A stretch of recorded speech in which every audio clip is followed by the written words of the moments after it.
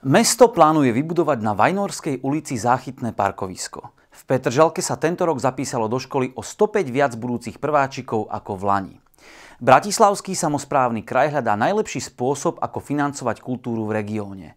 Kmeňové bunky výrazne pomáhajú zachraňovať končatiny pacientom, ktorým hrozí amputácia. To sú témy metra dnes. Vítajte. Bratislavský samozprávny kraj spravuje množstvo kultúrnych zariadení, divadlá a rôzne budovy a inštitúcie, ktoré podporujú kultúru obyvateľov. Začal spolupracovať aj s Fakultou architektúry Slovenskej vysokej školy technickej s cieľom prepojiť študentov s potrebami praxe a regiónu. Poslanci sa na treťom zasadnutí zastupiteľstva kraja venovali okrem návrhov na ocenenie BSK aj dotáciám a doprave. V priestoroch budovy BSK sa prezentovali študenti Fakulty architektúry Slovenskej technickej univerzity modelmi oddychovo-rekreačnej infraštruktúry zameranej na prírodu. Bratislavský samozprávny kraj eh, zriaďuje sedem organizácií. To je tá najdôležitejšia činnosť. Má na starosti 4 divadlá, Astorku, eh, arénu Babkové divadlo Ludus, plus Malokarpatskú knižnicu, plus Malokarpatské kultúrne stredisko a ešte má nejaký múzeum na starosti. E, zriadovateľský na starosti. To znamená, treba sa starať v prvom rade o tieto vlastné inštitúcie a to je úlohou e, aj teda kultúrnej komisie, ktorá dáva návrhy, ktorá e, chodí jedna, už len keď si zoberieme, že Babkové divadlo je v rekonštrukcii, v neukončenej rekonštrukcii, že Ludus nemá svoj priestor v tejto chvíli a treba ho dostať do nejakého priestoru, že mm, Astorka nemá svoj priestor, je v náhradných priestoroch e, Ministerstva kultúry, tam ako bolo kino Pohraničník, kedysi, lebo jej priestor nebol v rámci vynutenej investície dokončený pred rokmi a rokmi a rokmi a tá zmluva je nejaká vágna s tým staviteľom. No tak toto napríklad sú také tie najzákladnejšie úlohy kultúrnej komisie sa k tomuto vyjadrovať. Na zasadnutí sa rokovalo aj o dotačnej schéme, teda o financiách pridelovaných rôznym projektom. Tie dotácie sa týkali samozrejme aj iných, alebo, alebo hlavne iných odvetví, športu, kaďakých výstav, ale, ale teda organizácií, ktoré si nevedia sami na seba ako keby zarobiť a potrebujú tie, tie dotácie. E, v kultúre boli podporené niekoľké jednorázové akcie, bol Viem, že pán starosta Ružinová, Pekár, e, sa mu podarilo presadiť dotáciu kultúrneho domu Kultus, e, malá scéna je podporená. Ako nemalo to filozofiu, nemala s tým ako keby nič kultúrna komisia, nedávala návrhy na toto kultúrna komisia, venovala sa tým dotačná komisia. Toto je, myslím, zásadný problém, ktorý do budúcna treba trošičku zmeniť, aby aj jednotlivé odborné komisie mohli do tejto dotačnej schémy vstupovať a trošičku možno poradným hlasom byť prítomné. Divadlo Astorka Korzo 90, ktoré má tiež v správe Župa, má novú inscenáciu s názvom Náš človek. V hlavnej úlohe bude Robo Jakab. Divadlo Aréna uvádza inscenáciu Dubček, ktorá pripomína Alexandra Dubčeka, výraznú osobnosť československých dejín. Autorom scenára je William Klimáček. Obyvatelia starých gruntov opakovane upozorňujú na akútnu potrebu výstavby chodníka v smere do Karlovej vsi. Vozovka je síce široká, ale vodiči často nedodržiavajú povolenú rýchlosť, vďaka čomu často dochádza k ohrozeniu chodcov, ale aj vodičov. Navyše chýba tam osvetlenie, čím je táto cesta vo večerných hodinách ešte nebezpečnejšia. Komunikácia Staré grunty bude počas modernizácie električkovej trate jedna z najdôležitejších komunikácií. Má slúžiť ako obchádzková trasa v čase obmedzenia a odstavenia križovatky Molecova. Keďže predmetná komunikácia patrí pod správu hlavného mesta, starostka Karlovej vsi Dana Čahojová požiadala primátora o doplnenie chodníka a verejného osvetlenia. V Petržalke bol koncom minulého týždňa zápis budúcich prváčikov do škôl. Tento rok sa ich zapísalo 1023, čo je v porovnaní s predchádzajúcim školským rokom o 105 detí viac. Samozpráva predpokladá aj nárast počtu tried v prvom ročníku z vlaňajších 38 na 41. V budúcom školskom roku budú v Petržalke aj tri špeciálne triedy pre žiakov so zdravotným znevýhodnením. Koľko detí ale skutočne nastúpi do prvého ročníka sa však ukáže až 1. septembra. Zriadenie múzea na Slavíne, ktoré má byť venované koncu druhej svetovej vojny, je v nedohľadne. Otvoriť ho pritom plánovali v roku 2016. Ukázalo sa však, že vojnový pamätník si vyžaduje rozsiahlú rekonštrukciu. Samozpráva preto v prvom rade plánuje investovať do jeho sanácie. Hlavné mesto už má vyhotovené komplexné stavebno-technické posúdenie. Múzeum na Slavíne má byť spoločnou expozíciou Múzea mesta Bratislavy a Vojenského historického ústavu chcú ho situovať do podložia pamätníka. Mestskí policajti v uplynulom týždni riešili aj prípad dvojnásobne čierneho pasažiera v meskej hromadnej doprave. Hovorkyňa Mestskej policie v Bratislave, pani Tatiana Krúcová, nám túto trochu tajomnú správu vysvetlí už o chvíľu. Vítajte u nás v štúdiu. Dobrý deň, prejem. Tak hneď na úvod e, sa spýtam na štatistiky za uplynulý týždeň. E, koľko zásahov alebo výjazdov mali vaši kolegovia? Uplynulý týždeň hliadky Mestskej policie preverovali v hlavnom meste takmer 1400 nových udalostí. Medzi nimi bolo aj 215 takých, ktoré sa po samotnom preverení ukázali ako neopodstatnené. K opodstatneným, zisteným a riešeným priestupkom patrili najmä priestupky na úseku dopravy. V uplynulom týždni sa ukázalo, že e, čistota a poriadok na verejných priestranstvách bola ľuďom lahostajná, takisto ako aj neporiadok okolo kontajnerových stoisk a nedodržiavanie stanovených prevádzkových hodín. Mestská policia však opäť riešila aj obťažovanie okoloidúcich zo strany neprispôsobivých občanov, nepovolenú konzumáciu alkoholických nápojov na verejných priestranstvách, ako aj fajčenie na zastavkách mestskej hromadnej dopravy. Najviac priestupkov naše hliadky zistili a riešili v uplynulom týždni na Medenej ulici v Bratislave, kde evidujeme konkrétne 40 protiprávnych konaní. V troch prípadoch naše hliadky spolupracovali s rýchlou zdravotnou pomocou a v dvoch prípadoch sme spolupracovali s príslušníkmi hasického záchranného zboru.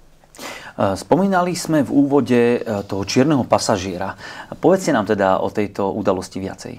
Áno, skutočne išlo o kuriózny prípad, pretože týmto čiernym pasažierom bol psík, konkrétne čierny labrador, e, ktorý sa strátil svojmu majiteľovi. E, v nedelu počas konania sa ČSOB maratónu e, oslovila, mm, oslovila skupina českých turistov hliadku dopravnej policie s tým, že v električke, ktorá smerovala z Petržalky do centra mesta, sa nachádza pes zjavne bez svojho majiteľa, ktorému sa zrejme stratil. V tomto prípade, v tomto prípade teda tohto psíka si zobrali hliadky dopravnej policie, ktoré následne kontaktovali našich kinológov. No a naši kinológovia sa zodpovedne o tohto psíka postarali až do času, kedy nás kontaktoval jeho majiteľ, ktorý si ho napokon šťastný od našich kinológov prevzal. Takže to bol taký happy end v podstate. Áno. A minulý týždeň, 7. apríla konkrétne, sme si pripomínali Svetový deň zdravia. A my vieme, že aj mestskí policajti sa rozhodli pomôcť a boli darovať krv. Čo nám k tomu poviete? Áno, je to tak. No, mm, v prvom rade treba povedať, že byť v ťažkých chvíľach e, nápomocný človeku je ľudské.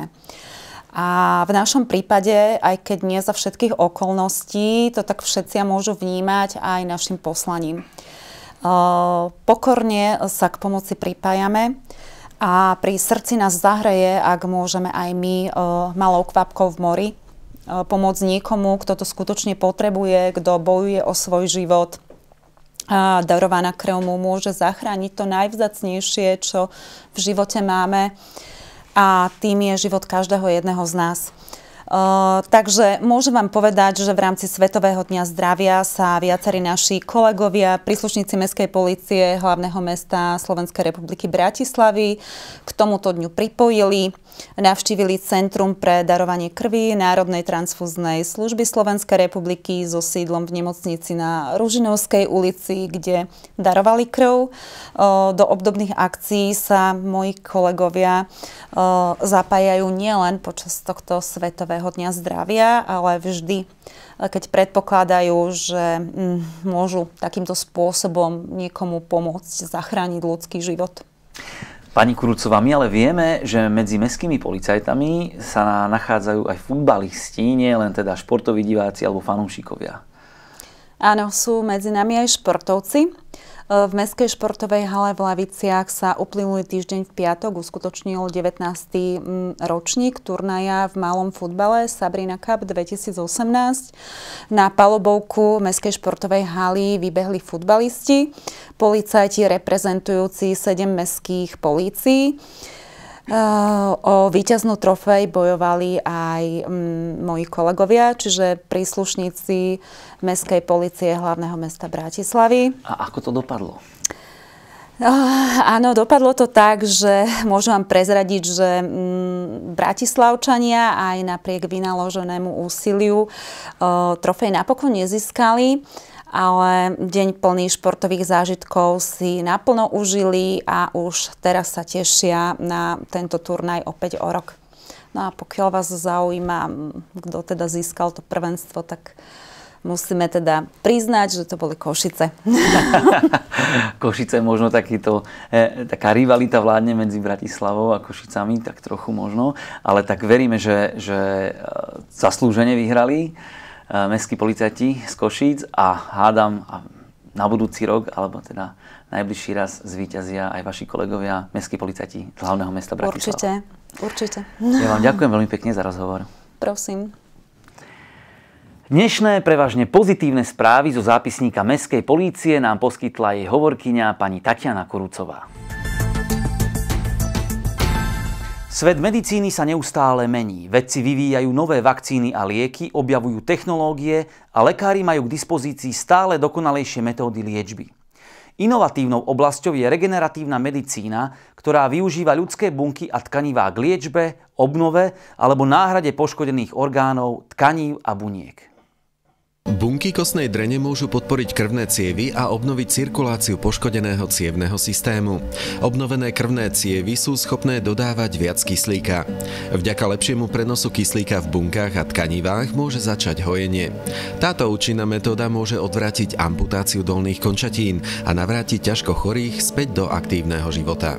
Je to metoda, která už, jak tady dneska bylo zmíněno, běží v medicíně zhruba přes 15 let, takže dá se říct, že je to metoda, která kterou nelze označit za úplnou novinku. Na druhou stranu je pravda, že do dnešní doby nebyla standardizovaná do takové polohy, abychom ji mohli označit za úplně standardní metodu, která má svá pravidla třeba tak jako léčba akutního infarktu myokardu, to zdaleka ne. V současné době se ta poloha, ve které se nachází z hlediska řekněme, regulačního, tak je poloha léčivého přípravku pro mimořádné použití, které má doporučení nebo schválení, odobření eh, Slovenského ministerstva eh, zdravotnictví a jako takovou ji lze používat. To znamená, je to metoda, která je povolená, ale není to metoda, kterou bychom mohli označit za rutinní léčebnou metodu. Ide eh, o, o metódu, ktorú poskytujeme pacientom v, naozaj v terminálnom štádiu, keď už inú možnosť nemajú a keď sa vyčerpali všetky možnosti dostupnej medicíny. No a vtedy, keď to zoberieme zhruba, že 100% tam pacientov hrozí amputácie, tak e, v tej našej štúdii, ktorú sme doteraz uskutočnili a v ktorej dúfam budeme pokračovať, zatiaľ len 25% muselo podstúpiť vysokú amputáciu, čiže amputáciu, ktorá e, pacienta obmedzí v pohyblivosti a v samostatnosti. Ischémia dolných končatín znamená nedokrvenie nôh. Je následkom zužovania ciev. Nedostatok kyslíka a živín sa postupne začne prejavovať odumieraním tkanív. Prejavuje sa bolestiami pri chôdzi. Najčastejšími chorobami sú ateroskleróza a cukrovka. Ohrození sú fajčiari a ľudia s nedostatkom pohybu. Terminální fáze, kdy vlastně je ten člověk před amputací, tak to samo nám říká, že tenhle ten člověk není schopen sebe reparace. Není schopen se obnovit. Dokud do této fáze nedospěje, tak jestli se dělá angioplastika, nebo jestli se dělá chirurgický výkon jako bypass, nebo jestli dostává léky, tak vždycky je to v poloze, dáváme šanci tomu tělu. To tělo spolupracuje a ten stav není kritický. Jakmile dospěje ale do ty fáze krize, kdy už tu krizi nelze těmito prostředky zažehnat, tak v současnosti mu nad rámec medicamentózní léčby, angioplastiky a chirurgie vlastně nebylo co jiného nabídnout. A právě proto ta léčba pomocí buněk z kostní dřeně nabízí jedinečnou možnost. To znamená, že pacient, pokud už dneska neuslyšel nic jiného než ten ortel amputace pane Novák, nemůžeme už nic jiného dělat, tak tady se mu právě otevírá možnost, že pokud ta skupina pacientů bude dobře vybraná, pokud pacient opravdu to bude nabídnuto tomu pacientovi, kdo opravdu pro tuhle metodu je vhodný, to znamená se vším tím, co je mu špatného a co nemá špatného na druhou stranu, tak tahle ta skupina pacientů enormně profituje z této léčby.